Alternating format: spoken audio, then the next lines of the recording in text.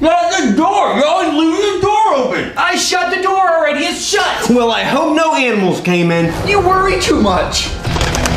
Bat! oh boy! Should we hide or should we catch it?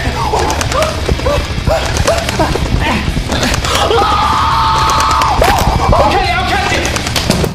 I'll dispose of the little creature for you. I need hand sanitizer, quick. What happens if a bat bites you? How am I supposed to know that? I didn't even know bats had teeth. Can you do me a solid and look it up for me, buddy?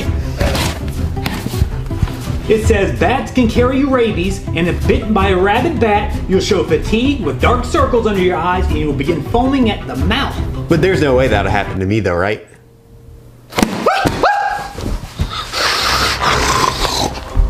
He's out of his mind. Oh,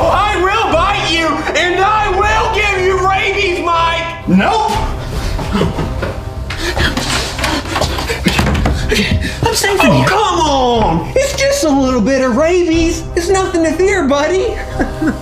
You've got to be kidding me. No kidding here. This is serious stuff, buddy.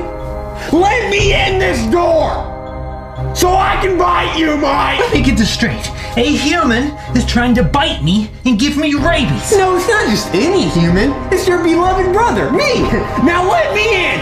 Let me in this door. Do you think it's gonna be that easy, Jesse? Do you actually think I will let you in here?